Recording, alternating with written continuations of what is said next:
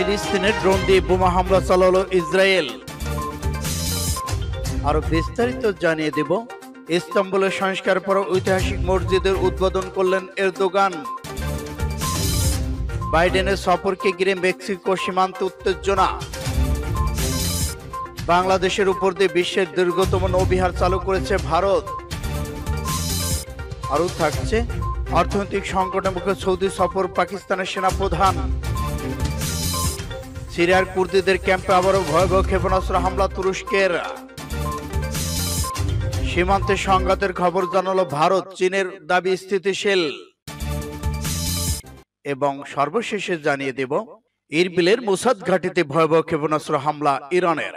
শুনছিলেন সংবাদ শিরোনাম, এখন বিস্তারিত। তবে অনুরোধ থাকবে, এই ভিডিওটিতে একটি লাইক দিন এবং কমেন্টস করে জানিয়ে দেন আপনি কোন জেলা থেকে বা কোথা থেকে আমাদের সাথে যুক্ত রয়েছেন। এবং আপনি যদি আমাদের চ্যানেলে নতুন হইয়া থাকেন, তাহলে অবশ্যই সাবস্ক্রাইব করে আমাদের সঙ্গেই থাকুন। ধন্যবাদ। ফিলিস্তিনের ড্রোন দিয়ে বোমা হামলা চালাচ্ছে ইসরায়েল। ফিলিস্তিনের ড্রোন দিয়ে ইসরায়েলের সেনাবাহিনী বোমা হামলা চালাচ্ছে। দেশটির কোনো মাধ্যম প্রতিবেদনের তথ্য তুলে ধরা হয়। ইহুদিবাদী দেশটির পত্রিকা ইয়েদিয়ত আহরত পত্রিকার ইসরায়েলি এক সেনা কর্মকর্তা বরাদ দিয়ে এ খবর প্রকাশ করা হয়।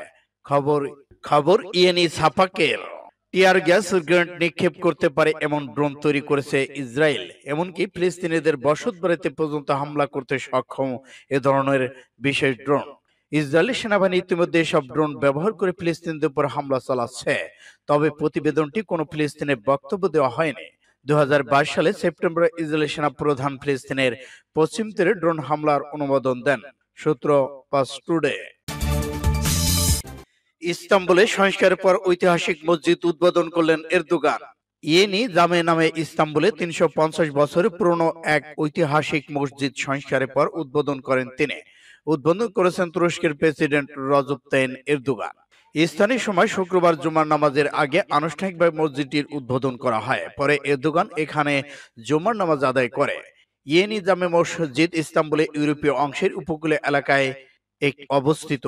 ইয়েনি জামে মসজিদ নতুন মসজিদ নামে বেশ পরিচিত।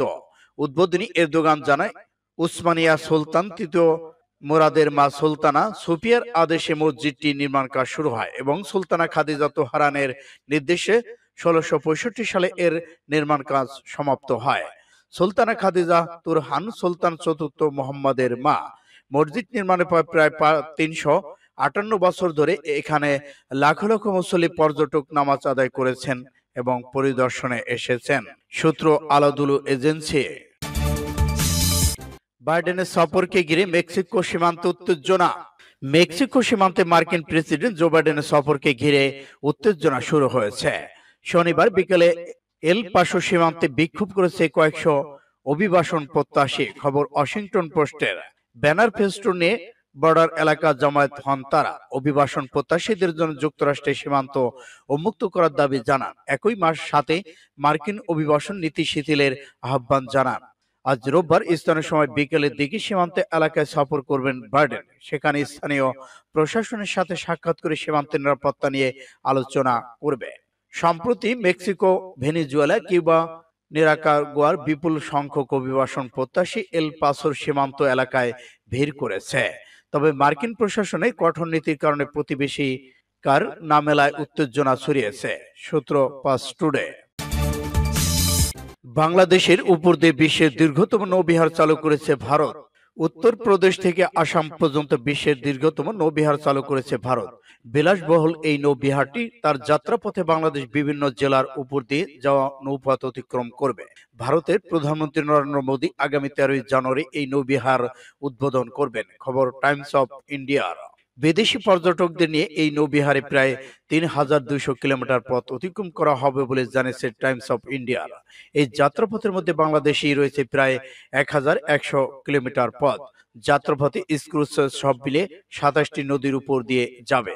এদিকে টাইমস অফ ইন্ডিয়া প্রকাশিত ম্যাপ অনুযায়ী উত্তরপ্রদেশের বারাণসী থেকে এই নৌবিহার শুরু হবে। এরপর সেটি নৌপথে বিহারে পাটনা, পশ্চিমবঙ্গের কলকাতা সহ বিভিন্ন পর্যটন স্থান ছুঁয়ে বাংলাদেশ জলপথে প্রবেশ করবে। এদিকে নৌবিহারের যাত্রাপথে বাংলাদেশের মংলা বন্দর সুন্দরবনের কটকা, সমুদ্র সৈকত হারবাড়িয়া বাগেরহাট সহ বরিশাল, মেঘলাঘাট, নারায়ণগঞ্জ, সোনারগাঁও, মানিকগঞ্জের আরিচাঘাট, টাঙ্গাইল, সিরাজগঞ্জ চৌকরি গ্রামের নীলফামারী এসে পড়বে। এরপর নৌবিহারটি আবার ভারতের উদ্দেশ্যে রওনা দেবে। সূত্র টাইমস অফ ইন্ডিয়া। অর্থনৈতিক সংকটের মুখে সৌদি আরব সফরে পাকিস্তানের সেনা প্রধান। দেশের অর্থনৈতিক সংকটের মুখে সৌদি আরব সফরে গেছেন গত নভেম্বরে পাকিস্তানের সেনা প্রধানের দায়িত্বে আসা জেনারেল অসীম মুনির। সেনা প্রধান হিসেবে দায়িত্ব নেওয়ার পর ওই দেশের অসীম মুনির এটি প্রথম সফর। সফরে সৌদি আরবের প্রতিরক্ষা মন্ত্রী সহ দেশটির শীর্ষ কর্মকর্তাদের সাথে আলোচনা করেছেন জেনারেল অসীম। শ্রম, বাণিজ্য, অর্থনীতি, নিরাপত্তা খাতে পাকিস্তান, সৌদি আরবের মধ্যে ঘনিষ্ঠ সম্পর্ক রয়েছে। বর্তমান প্রধানমন্ত্রী শেবাজ শরীফ এবং তার পূর্বসূরি ইমরান খান উভয়ই যথাক্রমে আঠারো এবং বাইশ সালে নিজেদের প্রথম সফরে সৌদি আরব ভ্রমণ করেছিলেন। এছাড়া পাকিস্তানের সর্বশেষ দুই সাবেক সেনা প্রধান জেনারেল মুনিরের পূর্বসূরি জেনারেল কমান্ডার জাভেদ বাজওয়া এবং জেনারেল রাহিল শরীফ তাদের প্রধান সফরেও সৌদি আরব গিয়েছিলেন। এদিকে কাতার ভিত্তিক সংবাদ মাধ্যম আল জাজের প্রতিবেদনে বলা হয়, সৌদি আরব বর্বরী পাকিস্তান ঘনিষ্ঠ প্রতিরক্ষা, অর্থনৈতিক চিত্র এবং নিজের প্রথম বিদেশ সফরে সৌদি আরবে গিয়ে পাকিস্তানি এই জেনারেল তার পূর্বসূরিদের পদাঙ্ক অনুসরণ করেছেন। পাকিস্তানের সামরিক বাহিনী media West inter servicing public রিলেকশন গত বুধবার এক বিবৃতিতে জানায় পারস্পরিক স্বার্থ সামরিক সহযোগিতা এবং দ্বিপাক্ষিক সম্পর্কের বিষয়ে আলোচনা করতে সিওএন উভয় ভ্রাতৃত্ব প্রতিম দেশের সিনিয়র নেতৃত্বের সাথে দেখা করেছেন। সিরিয়ায় কুর্দিদের ক্যাম্পে আবার ক্ষেপণাস্ত্র হামলা তুরস্কের। সিরিয়া সীমান্তে কুর্দি বিদ্রোহীদের অবস্থানে অভিযান অব্যাহত রেখেছে তুর্কি বাহিনী। শনিবার ক্ষেপণাস্ত্র রকেট হামলা চালানো হয় সশস্ত্র ওয়াইপিজি গেরিলাদের উপর। নতুন করে চালানো অভিযানে ধ্বংস করা হয়েছে বিদ্রোহীদের দুটি ক্যাম্প, খবর রয়টার্সের। বিভিন্ন মানবাধিকার সংস্থা বলছে, এখন পর্যন্ত তুরস্কের অভিযানে প্রাণ গেছে অন্তত তিনশো ছাব্বিশ কুর্দির। এ অবস্থায় হামলার প্রতিবাদে সিরিয়ার বিভিন্ন স্থানে বিক্ষোভ করেছে বেসামরিকরা। তুরস্কের বিরুদ্ধে কঠোর অবস্থান নিতে বিশ্ব শক্তিগুলোর প্রতি আহ্বান জানানো হয়। এদিকে তুরস্কের প্রেসিডেন্ট রিসেপ তাইপ এরদোগান হুঁশিয়ারি জানিয়ে বলেছেন, কুর্দি বিদ্রোহীরা নিশ্চিহ্ন না হওয়া পর্যন্ত অভিযান অব্যাহত থাকবে। সূত্র ইন্ডিয়া টুডে। সীমান্তে সংঘাতের খবর জানালো ভারত। চীনের দাবি, স্থিতিশীলতা। ভারতীয় সেনাবাহিনী জানিয়েছে, গত সপ্তাহে ভারত চীনের সেনারা হিমালয়ের বিরোধপূর্ণ সীমান্ত সংঘাতে জড়িয়ে পড়ে। এর ফলে দুই দেশের কয়েকজন সেনা আহত হয়েছে। গত দুই বছরের মধ্যে এটি দেশের সীমান্তে সংঘাতের প্রথম ঘটনা, এর ফলে দু সালে পর এশিয়ার দুই বড় দেশের মধ্যে আরও উত্তেজনা সম্পর্কের বহিঃপ্রকাশ ঘটল। যদিও এ খবর নিশ্চিত করেছে চীন। এদিকে ভারতীয় সেনাবাহিনী এক বিবৃতিতে জানিয়েছে, দুই দেশের সেনারা সংঘাতে জড়িয়ে পড়লেও তা স্বল্প স্বল্পস্থায়ী ছিল। গত শুক্রবার ত সেক্টরে অরুণাচল প্রদেশের সীমান্ত বরাবর এই ঘটনা ঘটে। ভারতীয় সেনা সূত্রে বরাদ্দে বার্তা সংস্থা এএফপি জানায়, চীনা সৈন্যের ভারত নিয়ন্ত্রিত বিরোধপূর্ণ সীমান্তের কাছাকাছি আসলে সংঘাতের সূচনা হয়। ভারতের প্রতিরক্ষা মন্ত্রী রাজনাথ সিং মঙ্গলবার সংসদে নয় ডিসেম্বর চীন ও ভারতীয় সৈন্যদের মধ্যে সংঘাত হয়। ভারতীয় সৈন্যরা পিএলএ সৈন্যদের আমাদের ভূখণ্ডে প্রবেশ বাধা দিয়েছে, তিনি কথা জানান। এদিকে চীন জানিয়েছে, ভারতের সাথে তার সীমান্ত পরিস্থিতি স্থিতিশীল রয়েছে। আমরা যতদূর বুঝি, চীন, ভারত সীমান্ত পরিস্থিতি সামগ্রিকভাবে স্থিতিশীল, বলেছেন চীনের পররাষ্ট্র মন্ত্রণালয়ের মুখপাত্র ওয়াং ওয়াং বিন ইরবিলের মোসাদ ঘাটিতে ক্ষেপণাস্ত্র হামলায় ইরানের, ইরাকের স্বায়ত্তশাসিত কুর্দিস্তান অঞ্চলের রাজধানী ইরবিলে অবস্থিত ইহুদিবাদী ইসরায়েলের দুটি স্ট্র্যাটেজিক সেন্টারে ব্যালিস্টিক ক্ষেপণাস্ত্র হামলার ঘটনা ইরাকের বিপ্লবী গার্ড বাহিনী আইআরজিসি একটি বিবৃতি দিয়েছে।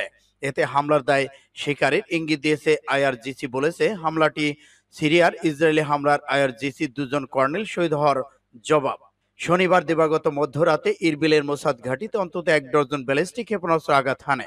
কুর্দিস্তান অঞ্চলের গোয়েন্দা সূত্রের বরাদ্দে গণমাধ্যমগুলো জানিয়েছে, ইরবিল হামলায় প্রায় বারোটি ব্যালিস্টিক ক্ষেপণাস্ত্র ব্যবহার করা হয়েছে। পরে আইআরজিসি দায় শিকারে বিবৃতি দিয়ে তেল আবিবের প্রতি কঠোর হুঁশিয়ারি উচ্চারণ করে। রবিবার সন্ধ্যায় আইআরজিসি ইরানি গণমাধ্যম আইআরজিসির বিবৃতি প্রকাশ পেয়েছে। গত সোমবার সিরিয়ার রাজধানী দামেস্কের কাছে ইহুদিবাদী ইসরায়েলের ক্ষেপণাস্ত্র হামলার আইআরজিসি দুজন কর্নেল শহীদ হয়। এরপরে মোসাদের ঘাটিতে এ হামলার ঘটনা ঘটে। বিবৃতিতে বলা হয়েছে, ভুয়া ইহুদিবাদী সরকারের সাম্প্রতিক অপরাধমূলক তৎপরতার কারণে এবং তাদের এই অপরাধ বিনা জবাবের পার পাবে না বলে যে ঘোষণা দেওয়া হয়েছিল তার অংশ হিসেবে ইহুদিবাদীদের ষড়যন্ত্রের কৌশলগত কেন্দ্র শক্তিশালী নিখুঁতভাবে হামলা চালাতে সক্ষম হয়েছে ক্ষেপণাস্ত্র ইরানের। এদিকে মোসাদ সেন্টারে হামলার পাশাপাশি ইরবিলে অবস্থিত মার্কিন কনসুলেটের নতুন ভবনও ক্ষেপণাস্ত্র হামলার শিকার হয়েছে বলে খবরে প্রকাশ পেয়েছে। এই ঘটনার জন্য ইরানকে দায়ী করেছে যুক্তরাষ্ট্র। কুর্দিস্তান অঞ্চলে কাউন্টার টেরোজিম এ মহাপরিচালক বরাদ্দে ইরাকের রাষ্ট্রীয় বার্তা সংস্থা জানিয়েছে, ইরাকের বাইরে থেকে ইরবিলে বারোটি ক্ষেপণাস্ত্র আঘাত এনেছে। খবরে বলা হয়, আমেরিকার নতুন কনসুলেট ভবনে এবং ইহুদবাদী ইসরায়েলের গুপ্তচর সংস্থা মোসাদের দুটি প্রশিক্ষণ কেন্দ্র এই ক্ষেপণাস্ত্র আঘাত হানে।